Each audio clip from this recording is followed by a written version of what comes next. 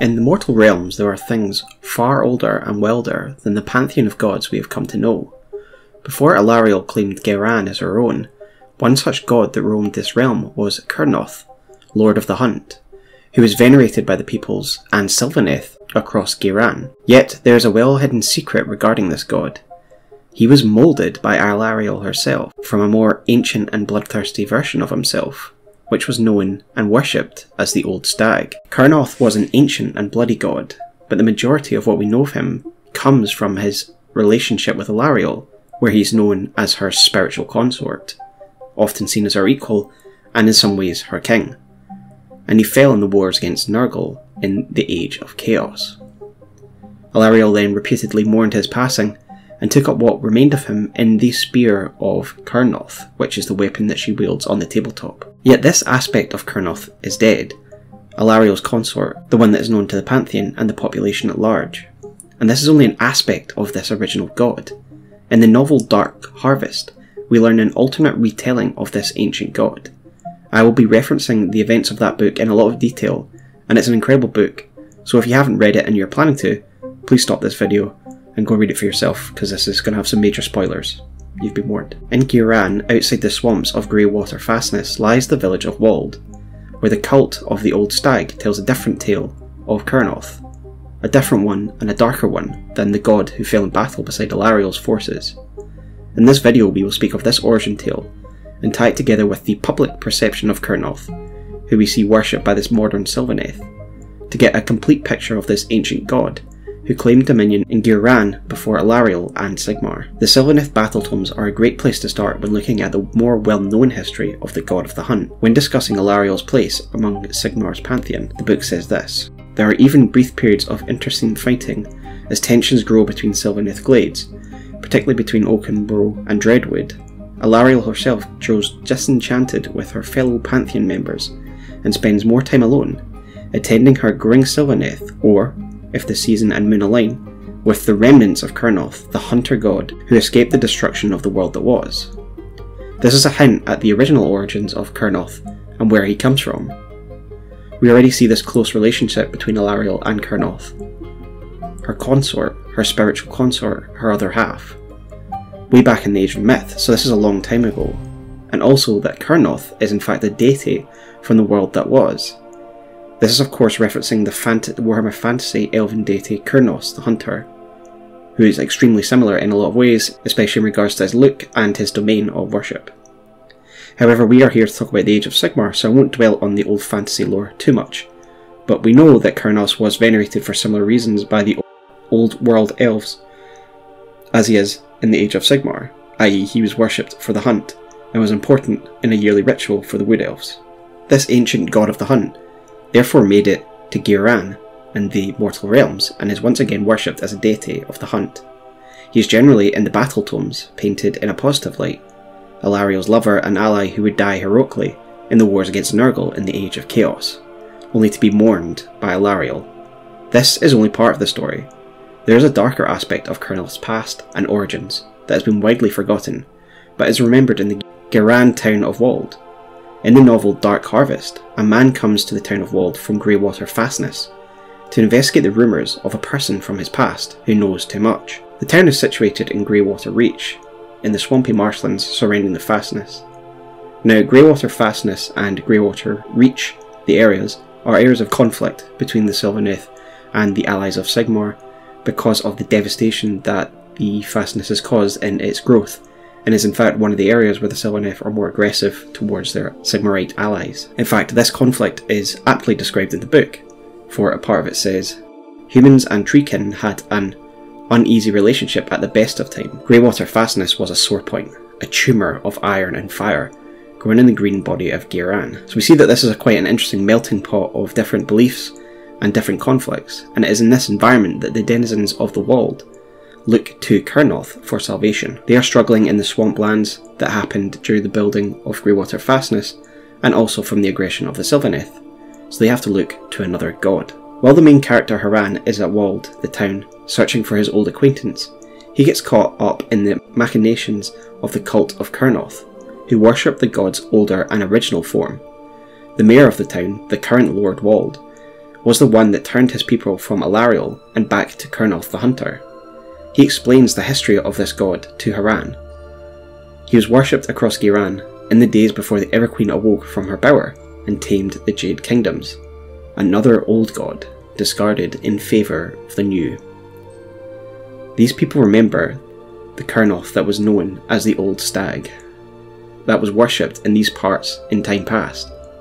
What I like about this is it one of the rare instances that gives some depth to the Age of Myth.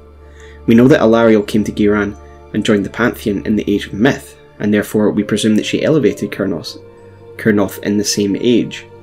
So this means that there was an age in Ghyran where Kurnoth was a god before Alarielle and worshipped by these people, instead of it being an instance of time that we don't really know much about.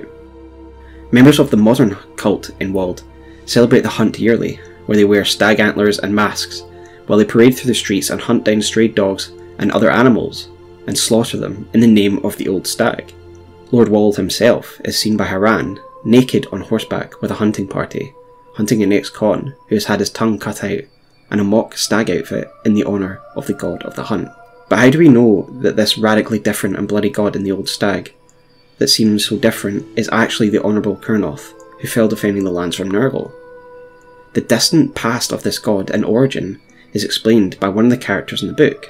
They say, It said, when the Everqueen tamed the old stag, she flayed him, and out of the meat of him she pulled a single red seed, and from that seed grew Kurnoth, the huntsman. So what happened to the rest of him? She sank him in the mire to sleep and dream red dreams forever. This is an extraordinary claim, and one that could be dismissed as rumour or local custom, given what we know in the Sylvaneth battle tomes. But as the event of the book shows, this is far from just a myth, there's actually some reality to it. The mire spoken of in the myth is nearby, and it is called the Huntsman's Bower. It is a mire, and a holy site to the cult of this old stag. One of the cultists explains that as times got tough, they turned back to the ways of Kurnoth for salvation, and began sacrificing people, even babies, in the, in the huntsman's bower, feeding the old god with blood and rousing him from his slumber. The Sylvaneth of the Wald in this area too sense the coming of the god, and again this suggests some authenticity given their connection to the land. One of the Sylvaneth leaders from the area tell the main character that they are attempting to stop the old god from being roused from his slumber. They even slaughter the sacrifices that the village presents before they can be offered, and they hamper and attack the cult whenever they can. However, not all Sylvaneth in the Wald are loyal to Alarielle. Some have sided with the old god and have become his hounds, twisting into aberrant dog-like forms. The book reads, The Hounds of the Huntsman. That is what they are, these twisted Sylvaneth. The others might serve the other queen, but these had a bloodier master. These Sylvaneth actually warp to serve this old god, and again shows the power that he has over the Sylvaneth and people of these lands, because he is an ancient deity. They twist themselves into the reflection of a hound, so they can act as his hounds for the huntsman. The seed that Alarielle took was a moulded god torn from a primal bloody god and formed into the more refined ally of Alarielle who exists in her spear. Yet the greater whole, the original part, was not destroyed, and by the climax of the books, that body has risen once more from the huntsman's bower. It is real. It hunts the main character. It's a giant monstrosity of bark and sap, and the book reads From a distance it resembled a stag, a big black beast taller than a man. Its crown of antlers rising up. Its face was the worst of it. It looked like someone had tried to carve a man's features out of a rotted log, and had stopped halfway. This is a bloody god, and it devours bloody sacrifices, including children and its own worshippers. He demands blood and the hunt. It is easy to see why Alarielle, while recognising his primal strength and connection to the land, could not accept the stag in his original form to be part of her pantheon. So, she pushed the original form into the swamp, setting it to slumber, and took a part of him and formed the god that we know in the battle tomes as Kurnoth the Huntsman. And so the primal god was risen up as the effective prince of Ghyran, standing beside Alarielle and earning the worship of people and Sylvaneth alike as the huntsman. We know him as the hunter, but many, like many gods, Kurnoth has many aspects and forms to his followers. In Dark Harvest, we get some more depth to the Kurnoth. The main character sees statues of him in the form of Kurnoth the Killer, Kurnoth the Seducer, again showing more depth to the god than the one-sided aspect we see in the battle tomes. However, above all, he does represent that classic hunt, the Wild Hunt. His warriors are of the Great Hunt, and he is a patron of such, yet presumably in a less bloody and demanding way than the, old stag espoused, presumably having his image sterilised somewhat by Alarielle. Yet this alliance would not last, for Kurnoth was destined to fall in battle against Nurgle in the battle known as the Battle of Tears. Reputedly, Kurnoth was at his weakest at this point because he was in his winter form. Alarielle mourned his passing and picked up the Spear of Kurnoth, which contains the last of this hunter god. It's speculated that the Kurnoth Hunters, a unit for the Sylvaneth, are born of Alarielle and Kurnoth's union, when she summons his spirit at the end of a seasonal cycle. There are those who believe he will return. For example, the warriors of the Heartwood Glade follow the way of Kurnoth, calling the Wild Hunt to destroy the Sylvaneth's enemies, and they believe that through their actions, the god is being kept alive in an ember, and one day will return to them and rise again. Little do they know that in a dark, damp part of Wald of Ghyran, Kurnoth has risen again, yet probably not in the form that they'd expect. So thanks guys, that's my collected thoughts on uh, Kurnoth after reading the novel Dark Harvest, which again, highly recommend you read it even if you've watched this video, still a great book. Probably one of my favourite Age of Sigmar ones, and it adds a lot of depth to what I presumed was quite a minor god, and made him really interesting to me, and essentially made me do my first Age of Sigmar lore video. But if you like this content, uh, please give a like, comment on any feedback, and subscribe if you want more, because I'm definitely going to be covering more Age of Sigmar lore in the future. But that's it for now guys, thanks and have a good night.